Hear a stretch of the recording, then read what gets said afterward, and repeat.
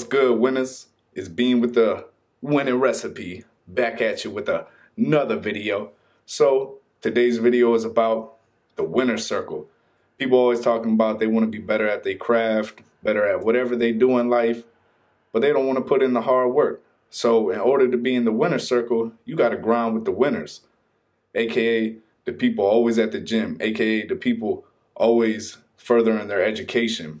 Whatever whatever your craft may be, whether for me, you know, I fight, I train Muay Thai, BJJ, MMA. I'm always fighting, so I'm always training my crafts to perfect them. And I'm always trying to train with people better than me because when you train with people better than you, guess what that does? That causes you to get better. In order to be great, you got to train with the greats. In order to be a lion, you got to train with the lions. If you out here training with kittens, guess what? You're going to be a kitten. You ain't going to be no lion. You ain't going to be no king of the jungle.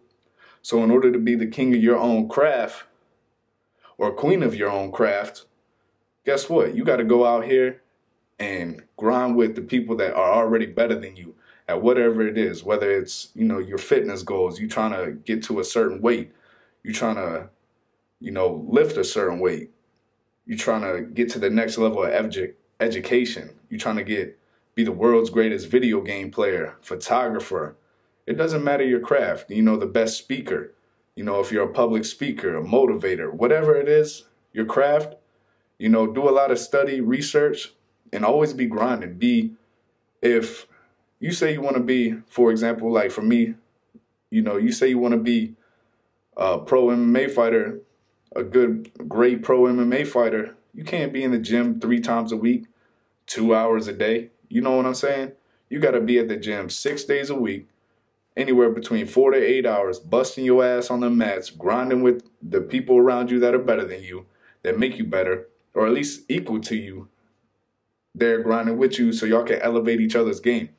And don't ever, ever think you know too much about your craft. You can always learn. Even if you're the greatest in the world, one day you're the greatest at whatever it is, whatever it is. All right, I'm trying to this trying to be a serious video and I'm over here messing it up, laughing and stuff. You know what I'm saying?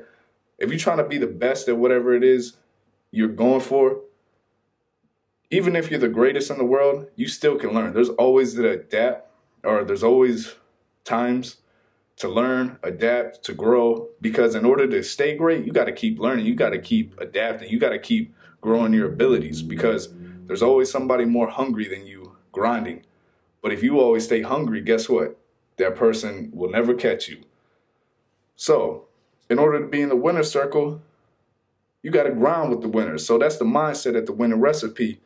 In order to get into the winner circle, you got to grind with the winners. So that's why I'm calling y'all winners. What's up, winners?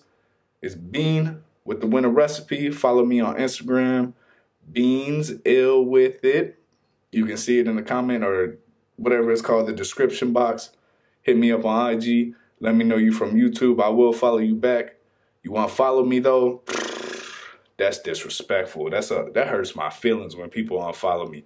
Hit me with the follow and then unfollow me. That's not a winner. That's a loser. You a loser if you do that. So, like I said, Bean with the winner recipe, holla at me. You know, stay blessed up, winners. In order to be great, you got to train with the greats. Just remember that. You can't be in the winning circle if you don't grow with the winners. So y'all stay easy, stay blessed up. I'll holla at y'all winners. One. Ladies and gentlemen, now presenting the Wonder Twins.